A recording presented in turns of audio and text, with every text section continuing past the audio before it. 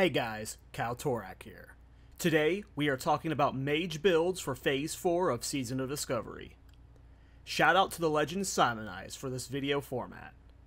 I'm going over builds for leveling, dungeons, and raid DPS.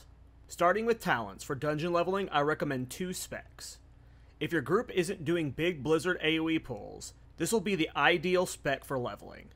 With Master of Elements and Blade of Eternal Darkness, you should be able to chain living bombs like crazy. If you are missing Blade, you can opt for clear casting instead of cold snap. For runes, we are keeping things pretty standard. If your group wants more off healing and support, you can swap Burnout for regeneration and Hot Streak for advanced warding. Not only does the new advanced warding let you put mana shield on your allies, but it also gives mages a magic dispel, which can be huge if your group is lacking one. For my off spec, I will be bringing Frost spec for Blizzard. BRD still has anti-dungeon boosting, so it's not likely we do Blizzard pulls there. The level 60 dungeons on the PTR didn't have anti-boosting, so it's possible I am doing Blizzard focus pulls later on. More than likely, I will be fire all the way to 60 though. This Frost spec is also good if you're wanting to solo ZF until 54, and then AoE farm in the open world until 60. Speaking of 60, let's dive into Fire. This is our highest DPS spec and what I assume most people will be playing in raids. Cold Snap is fantastic since we run Icy Veins. Frost Channeling will be very nice for Balefire Bolt and Frostfire Bolt. Here are the runes, and yes, we are using Balefire Bolt now. For our new back rune, we are using Overheat. For our rotation, you will precast Pyroblast on pull. Build Scorch until 5 stacks, and then cast Balefire Bolt until 9 stacks.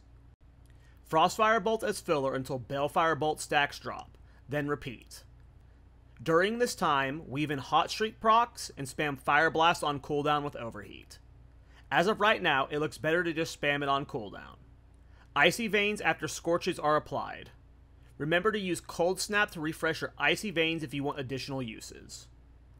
Onto Frost, it is doing a bit less DPS than Fire, but if your raid has 3 or more mages, you will runt a Frost for Winter's Chill. Here are the talents. Level 60 allows us to go deeper into fire, which helps a bit. It also enables us to get improved Scorch. Onto runes, Frost is a bit awkward right now. Currently, on single target, Ice Lance and Frozen Orb are a DPS loss. This makes the rotation a little more boring than Fire's. Deep Freeze performs better than Overheat with Hot Streak as Frost right now. The rolls. Okay, this is our builds for level 60. In general, I am very hyped for Phase 4. With no anti-boosting in level 60 dungeons and the state of Fire's rotation, I am super excited to level. Stay tuned for tomorrow, as I'll be going over pre-BIS and BIS guides for level 60. I will also be live streaming the launch of Phase 4. Come hang out. I'll be live on YouTube and Twitch. Like, subscribe, and see you at 60, boys.